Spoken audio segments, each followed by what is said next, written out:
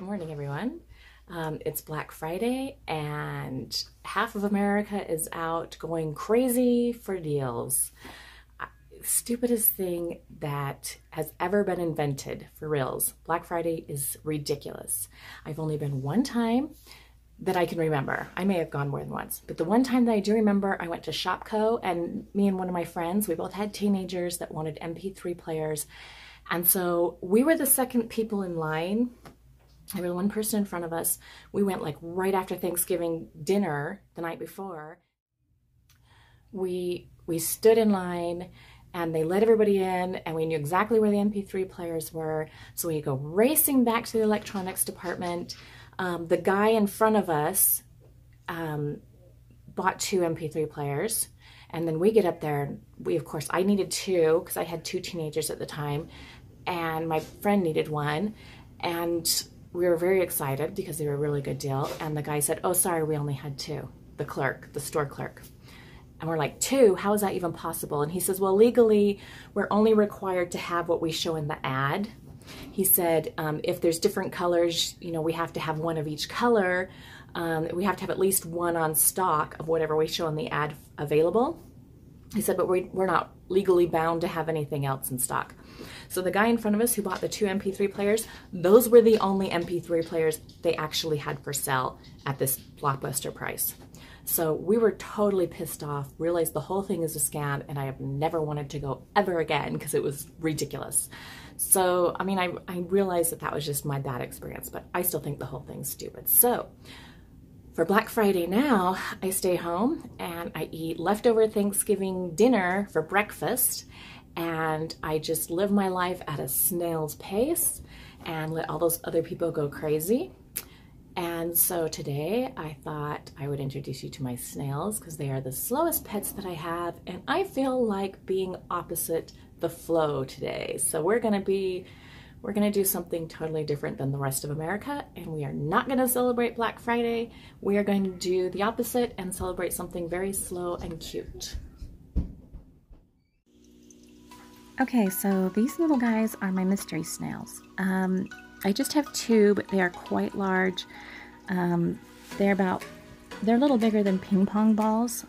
I don't like to pull them out of their habitat. I, this is actually just um, like one of those bug aquariums or bug terrariums that I turned into an aquarium for the snails because I wanted to keep their water at a certain level. Um, but they're just like the regular black ones but somehow I ended up with a male and a female. So yes, I will probably have baby snails someday, but I don't mind because these guys are so cute. Okay, and you guys have seen these. These are my Roman Burgundy snails. Um, again, I just have the two.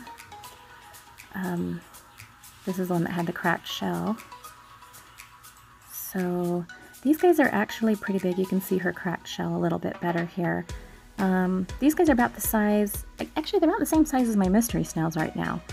Um, so I, I'm hoping they will eventually produce babies, to lay eggs and produce babies, but um, I don't have them in the right habitat for that right now. These ones, however, are producing tons of babies. You can see all the eggs. Um, and these are just my, these are just the regular garden snails, like the little ones that my princess likes to collect and keep.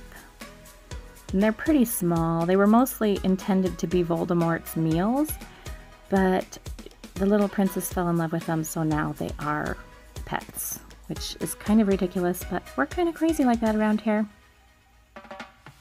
And they are pretty cute. They're just adorable. And this is a full-size one, too. I mean, they, they don't get any much bigger than this. At least the ones that we've got. I'll, I'll show you the difference here. Okay, so this is one of my Roman Burgundy snails um, with one of the mature full-size garden snails. And I'm not really sure what the garden snails are called, what their actual technical name is. Um, but I mean, you can see the difference. This is a Roman snail, the burgundy, and then this is the little garden snail on the top. So yeah, huge, huge, huge difference in size on these two. Um, the big Roman burgundies are the ones that they use for escargot, for they eat these. So um, I also have trumpet snails, which are the ones that everybody considers a pest because they reproduce so quick. And here I can't find any. They're in my aquarium. Um, okay, here we go, over here on the side. So these guys are just little aquarium snails. They're fairly small, and they just kind of, oh, there's a tiny one in the pink uh, plant too. They kind of look like gravel when they're little, um, but they do get to be about a half inch in size. So I've got a couple of big ones in here, and then the rest are just kind of small. So there it is, everyone. There is our Black Friday at a snail's pace. Thanks for watching, and I'll see you in our next video.